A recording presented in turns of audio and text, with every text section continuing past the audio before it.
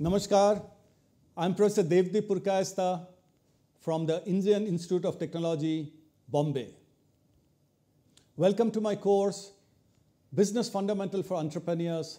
As part of the course, I'm very happy to welcome a very illustrious guest, Professor Rajen Jaswa,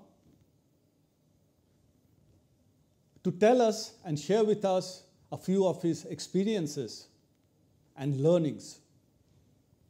Before I hand over to Professor Raj Jaswa, a couple of lines of introduction. Professor Raj Jaswa passed out of IIT Bombay for his undergraduate in 1975.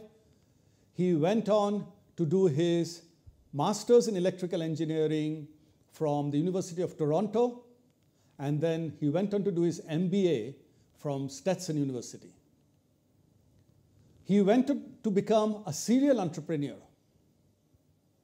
and he actually founded three companies in different capacities, and one of the companies went public with a huge multi billion dollar valuation. He also volunteered to serve on TiE, which is one of the largest network of Indian entrepreneurs across the world. And he served as the president of the TiE chapter in Silicon Valley. And then he went on to become a global trustee. He is also an adjunct faculty at IIT Bombay's own School of Entrepreneurship, and he has been teaching, mentoring, and stimulating entrepreneurial students for the last seven to eight years. So it is my pleasure now to hand over to Professor Raj Jaswa for his module. So when an entrepreneur starts his journey, he's always wondering, you know, how do I decide what company to start? How do I decide that this is the right time to start? What is the opportunity in front of me? How big a company can I build? These are the questions that an entrepreneur faces. So let's try and give you some sort of a framework in order to understand you know how opportunities show up what kind of opportunities will result in great businesses being built up so what we are going to look at is how an entrepreneur can use technology trends to build great businesses, to find openings and opportunities in the marketplace that will result in their startup idea flowering into a great business. So I'm Rajen Jaswa. I'm, I've been teaching entrepreneurship at IIT Bombay and IIT Gandhinagar and other institutes for over 10 years. And uh, I'm a adjunct professor here because I used to be a serial entrepreneur in Silicon Valley for the last 25 years. And uh, since then, I've been teaching entrepreneurship. So I have seen directly the opportunity to use technology trends in order to find opportunities to build great businesses. So, what is the fundamental driver that creates these opportunities? What is it that results in a spurt of new startups happening? And believe it or not, it's a hundred year plus law that has that is the fundamental driver to opportunities opening up for entrepreneurs. So, what is this 100 year old law? It's called Moore's Law or Gordon Moore's Law, who saw he was one of the founders of Intel Corporation, and he saw in the 1970s that, you know, every two years, the computing power per dollar or per rupee doubles. And when something doubles and keeps doubling every two years, you have something called an exponential curve. And then he also noticed that if you backtrack this was 1970. And if you backtrack for the 70 years prior to the start of the 19th century or the 20th century, um, even though the technology, the foundation technology for computing was different, even then, every two years, the computing power would double in terms of the computing power per dollar or computing power per rupee. And it moved from mechanical to relays to vacuum tubes and then transistors, which was kind of the dawn of a whole era of semiconductor integrated technologies. And since then, since the 70s, uh, we have been living in a world of something called semiconductor technology. Now, even semiconductor technology is moving on to quantum computing, and uh, there'll be all kinds of new uh, underlying platforms for driving this. But uh, integrated circuits or semiconductor technology from 1970 to the 20s, so 50 years, the driver of new advances uh, in computing power. Now, why is this computing power and the doubling of computing power so important to an entrepreneur's life, uh, to an entrepreneur's journey? So, what computing power does is that it grows exponentially, and as it grows exponentially, things that were not possible suddenly become possible. So, memory amount of memory that can be available on a computer doubles every two years uh, for the same price the amount of performance, computing power, or the speed at which numbers can be crunched doubles. And the speed at which logic can be uh, executed doubles. So everything doubles. And when something doubles, all of a sudden, things that did not look possible suddenly become possible. And that is what the entrepreneur looks for. Now, most of the economic world works on a linear model. So companies grow by 10% year over year. They don't double every two years. They grow by 5%, 10% year over year, and that is regarded as a very good growth rate. Now, when an entrepreneur looks at an industry that has been growing at 5 10% and then suddenly has in his hands some new technology that is twice as fast, four times as fast, all of a sudden, you know, they can shrink the product, they can increase the performance, they can increase the functionality, they can do things that were not possible otherwise. And that is what entrepreneurs leverage. So, how does this entrepreneur leverage this digitization movement uh, that is underlying the whole economy based on Moore's law that keeps on doubling computing capability or performance every two years. So the first thing is, you know, when you digitize things, automatically the product will just double in quality or capability every two years. Uh, so that is tremendous value add for consumers or for industry or for government uh, to you know leverage right? So they can get productivity improvements just by digitizing things right? But there are some other key benefits and drivers that an entrepreneur should keep his eyes open for. And this is what is called the 6 Ds exponential framework and it talks about the six Ds are digitization, of course, deceptive, disruptive, dematerialize, demonetize, democratize. So, what is all the six Ds about? Each of those Ds or capabilities that the D provides, or the change of behavior that the D provides, opens up new opportunities. So, now let's look at you know, what is democratize? What democratize means that all of a sudden, a whole new population will now be able to use a certain functionality. So let me give you an example. So if you look at Africa, there are a billion people who are not maybe particularly well educated, who are not particularly uh, technology savvy, computer savvy, uh, software savvy, and yet this billion people can afford a smartphone. And when a billion people can afford a smartphone, guess what happens?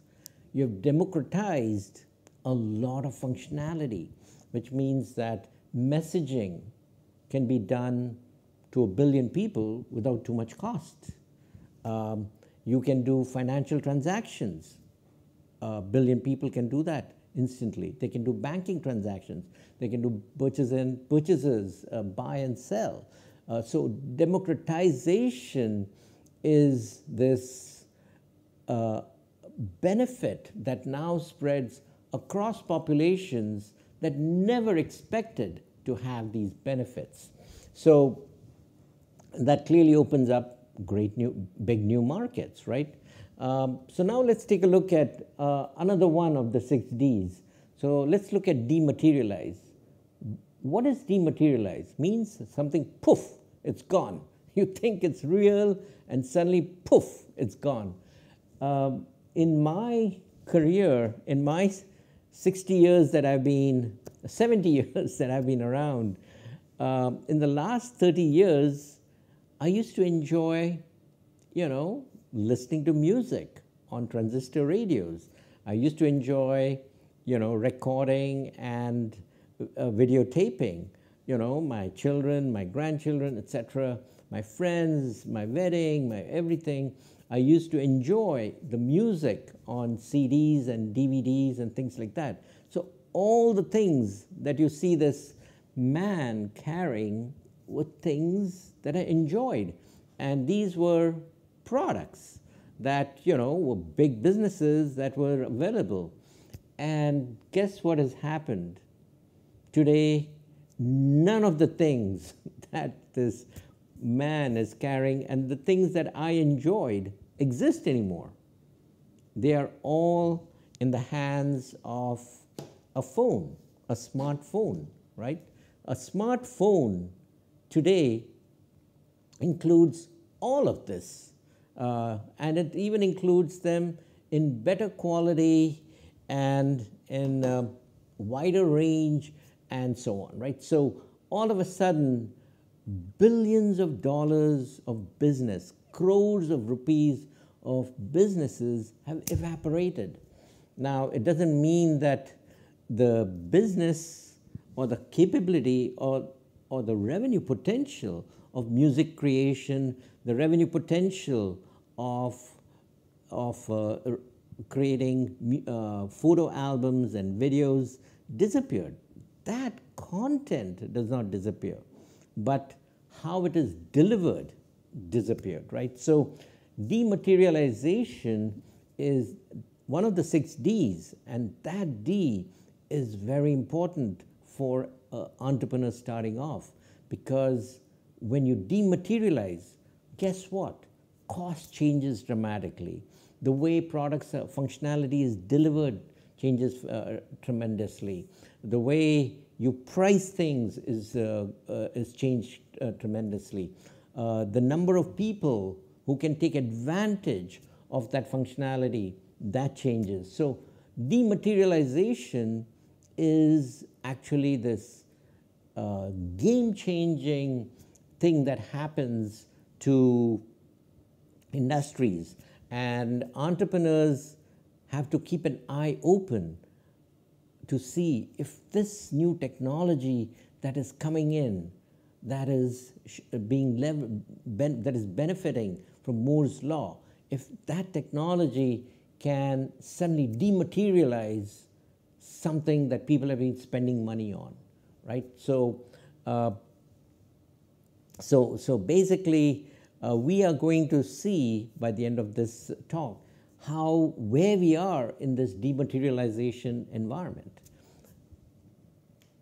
So the six Ds um, are, are, are things that now we have to apply to any new technology disruption that is being unleashed on the world, right? And the disruptor that is being unleashed in 2023 is what? Artificial intelligence. Now, I started my first AI company in 1996, almost uh, 20, 25 to 30 years ago.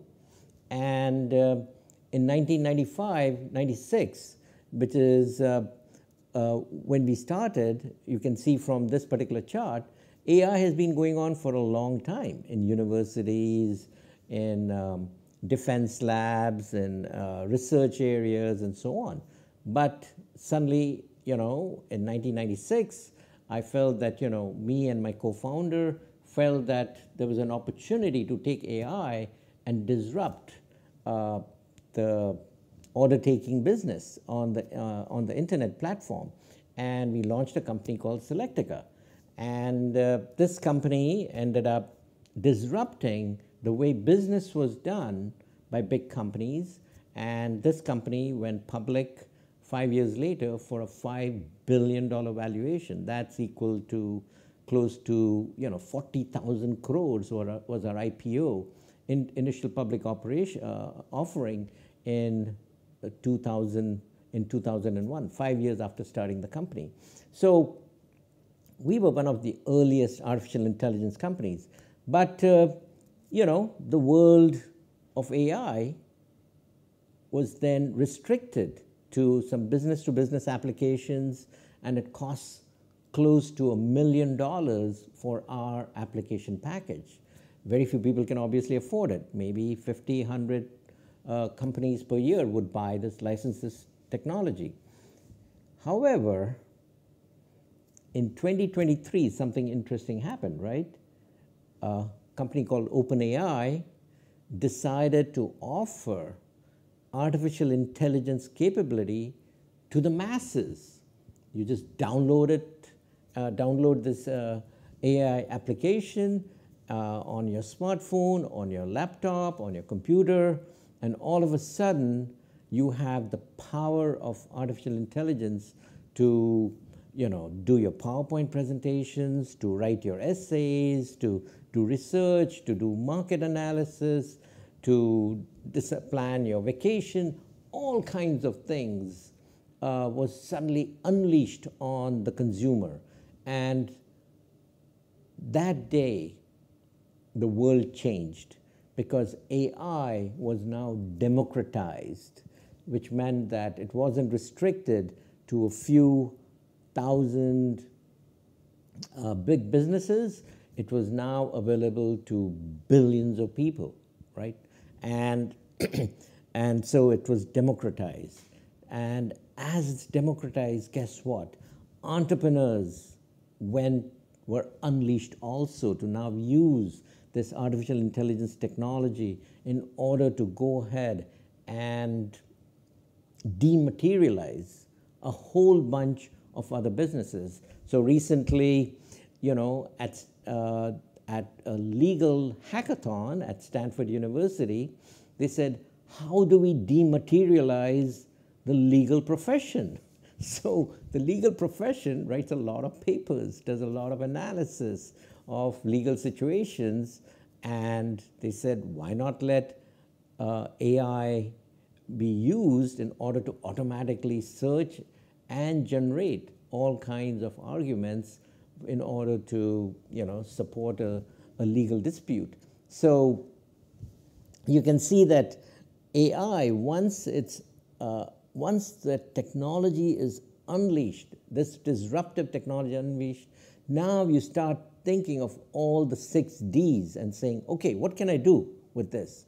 So uh, if you're in the semiconductor business, the way NVIDIA was, they said, why don't we use our graphics processor to start doing and uh, uh, start executing uh, AI algorithms 100 uh, times faster than it was previously done.